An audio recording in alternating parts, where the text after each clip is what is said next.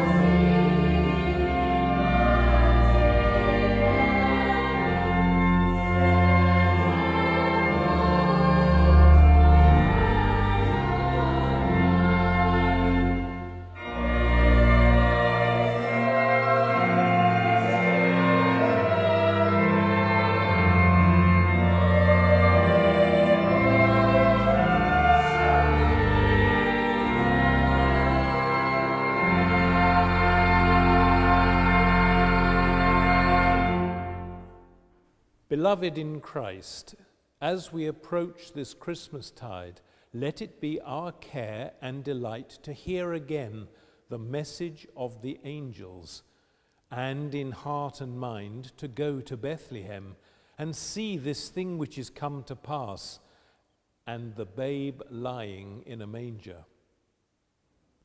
Therefore, let us read in Holy Scripture the tale of the loving purposes of God from the first days of our disobedience unto the glorious redemption brought us by this holy child. But first, let us pray for the needs of the whole world, for peace on earth and goodwill among all his people. For unity and fellowship within the church he came to build, and especially in this our Diocese of Portsmouth. And because this would rejoice his heart, let us remember in his name the poor and helpless, the cold, the hungry and the oppressed, the sick and them that mourn, the lonely and the unloved, the aged and the little children all those who know not the Lord Jesus, or who love him not, or have grieved his heart of love. Lastly, let us remember before God all those who rejoice with us, but upon another shore and in a greater light. That multitude which no man can number, whose hope was in the Word made flesh, and with whom in the Lord Jesus we are one for evermore. These prayers and praises let us humbly offer up to the throne of heaven in the words which Christ himself has taught us. Our Father, who art in heaven, hallowed be thy name. Thy kingdom come, thy will be done on earth as it is in heaven. Give us this day our daily bread, and forgive us our trespasses, as we forgive those who trespass against us. And lead us not into temptation but deliver us from evil. Amen. A reading from the book of Genesis, chapter 3.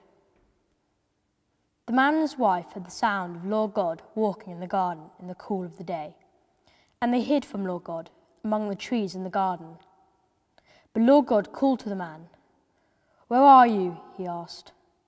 I heard the sound of you in the garden, he, he replied. I was afraid because I was naked, so I hid. Who told you that you were naked? he asked. Have you been eating from the tree I forbade you to eat? The man replied, It was the woman you put with me. She gave me some fruit from the tree, and I ate it. Then Lord God said to the woman, Why did you do that? The woman replied, The snake tempted me, and I ate. Then Lord God said to the snake, because you have done this, accursed be you of all animals wild and tame. On your belly you will go, and on dust you will feed. As long as you live, I shall put enmity between you and the woman, and between your offspring and hers. It will bruise your head, and you will strike its heel.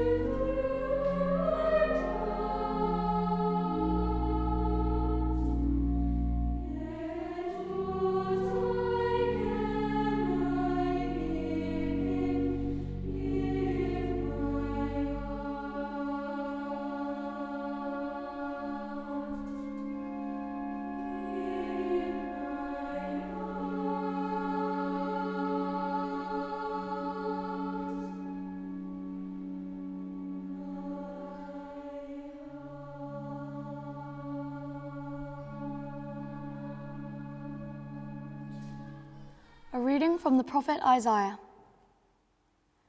The people that walked in darkness have seen a great light. On the inhabitants of a country in shadow dark as death, light has blazed forth. For a son has been born for us, a son has been given to us, and dominion has been laid on his shoulders. And this is the name he has been given Wonder Counselor Mighty God, Eternal Father, Prince of Peace, to extend his dominion in boundless peace over the throne of David and over his kingdom, to make it secure and sustain it in fair judgment and integrity. From this time onwards and forever, the love of God will do this.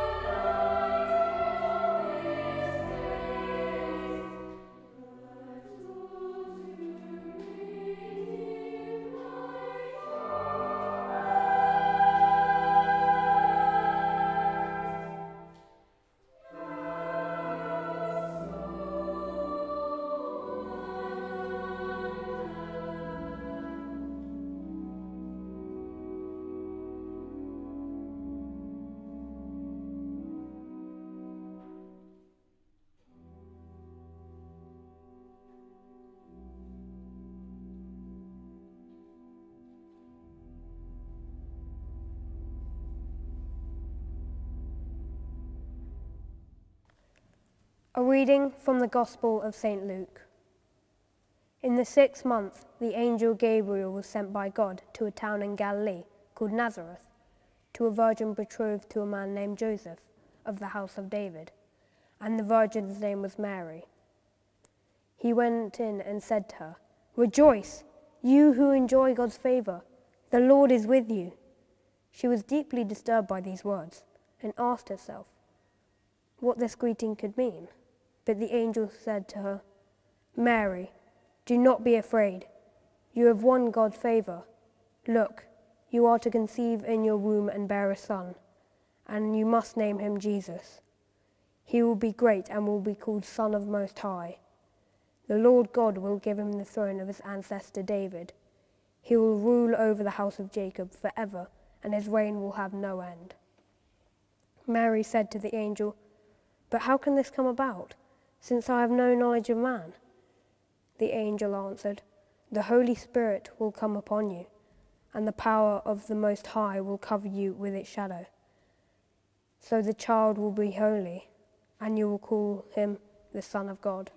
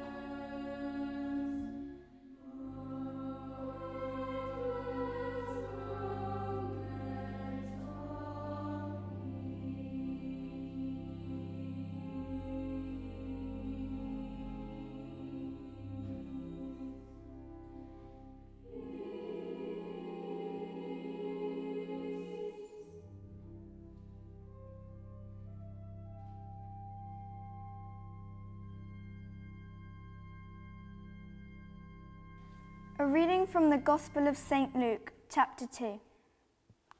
Now it happened that at this time Caesar Augustus issued a decree that a census should be made of the whole world.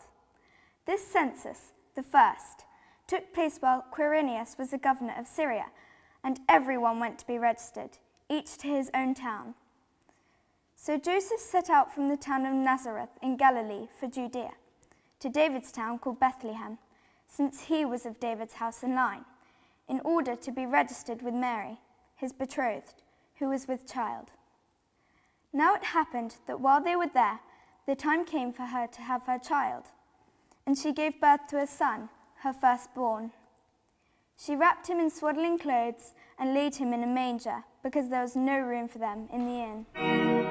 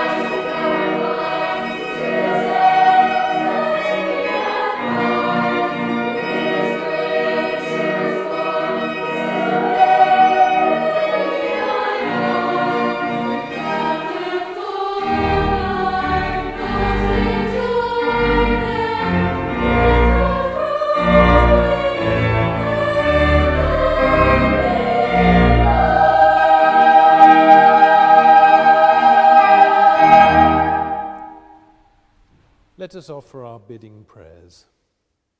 As we continue to prepare for Jesus' birthday, we pray for a spirit of renewal and a deepening of our faith. Lord, hear us. Lord, graciously hear us. For the leaders of our churches, especially for Pope Francis, that through their work they may continue to spread the good news of our Saviour. Lord, hear us. Lord, graciously hear us. For Christians throughout the world, that they may share the joy of this holy season and rejoice in the light of faith. Lord, hear us. Lord, graciously hear us. We pray for everyone gathered within the fold of our school. May our Saviour's birth fill us with a greater desire to lead lives worthy of our calling. Lord, hear us. Lord, graciously hear us. We pray for those who are ill, those who mourn, and those who suffer because of violence and injustice May the gift of our Saviour, the Prince of Peace, be a sign of hope to them all. Lord, hear us. Lord, graciously hear us. Bless the children who pass through the Children's Hospital in Southampton. As we pray for the Murray Parish Trust and pray for all those who are held in care and love within the communities of L'Arche, and for all who receive gifts in our care homes in Andover and through the Andover Food Bank. Lord, hear us. Lord, graciously hear us. Bless our parish church of St. John the Baptist and our parish priest, Father Austin. And may our celebration of the birth of Jesus be an occasion for renewed hope. May our joy and our witness bring the good news of salvation to the whole world. Lord, hear us. Lord, graciously hear us. We offer these and all our prayers through the intercession of Mary, our Mother, whose openness to God's plan allowed the Saviour of the world to become man and dwell among us. And so we pray Hail Mary, full of grace, the Lord is with thee. Blessed art thou amongst women, and blessed is the fruit of thy womb, Jesus. Holy Mary, Mother of God, pray for us sinners, now and at the hour of our death. Amen. The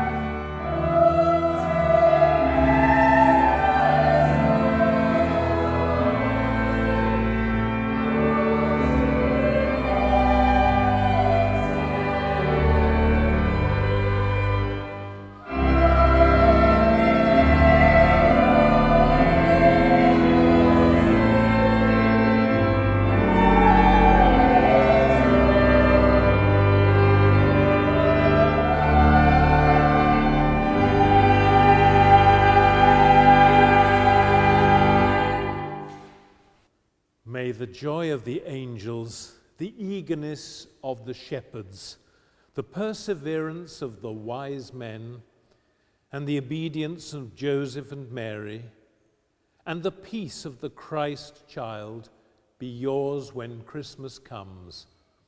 And the blessing of God Almighty, the Father, and the Son, and the Holy Spirit be yours now and forever. Amen.